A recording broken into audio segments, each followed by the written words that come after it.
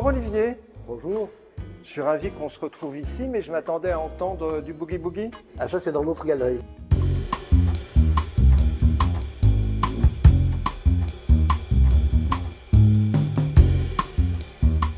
Ce qui est extraordinaire pour nous, on a ici réuni pratiquement des pièces historiques, des pièces récentes.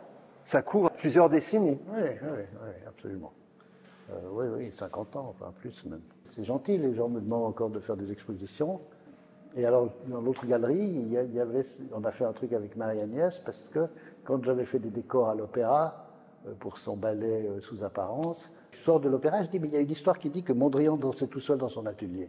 Il aimait danser, quoi. Pas compliqué, il y a des toiles dont les titres sont Boogie Woogie, Foxtrot.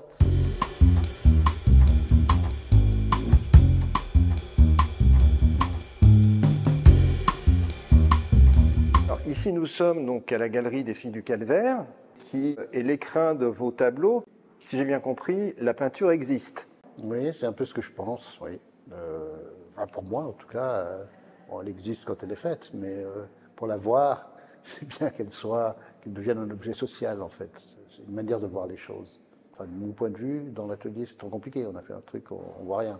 Alors que quand ça devient, quand les autres la voient, à ce moment-là, on on a un moyen de la voir.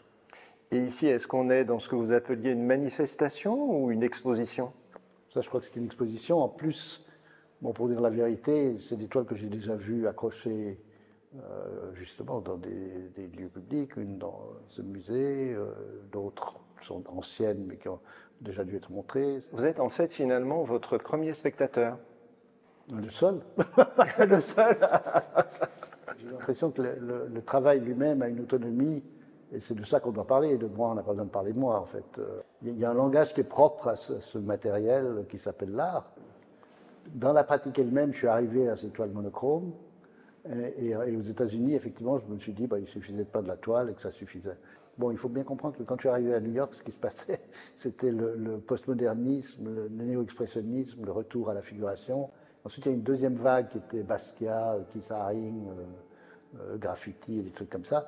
Donc on n'était pas dans le coup. Hein. Et puis après, les choses sont un peu retournées. Il y a eu un retour comme ça vers une peinture un peu plus intellectuelle. Euh, et au fond critique même du, du néo-expressionnisme. En fait, il y a un côté complètement intemporel dans l'ensemble de toutes les œuvres qui sont présentes ici.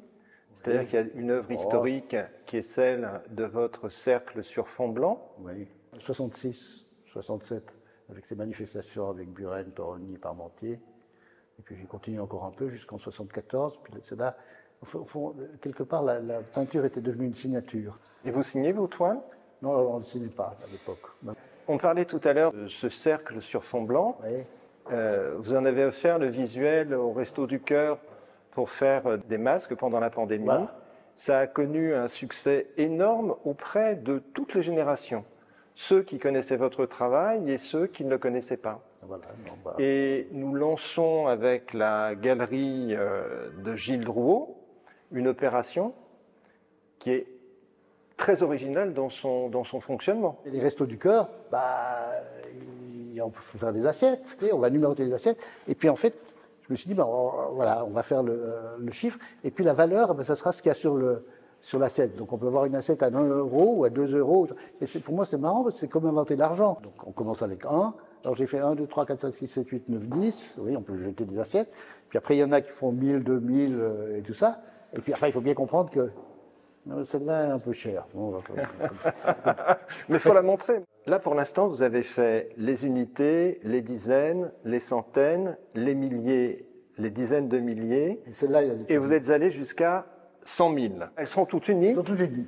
Réalisées par vous, à chaque fois, à la main. Et signées. D'ailleurs, ça serait aussi d'en parler à d'autres artistes. Tu pourrais faire d'autres assiettes. Bien sûr. Voilà. 100 000, hein.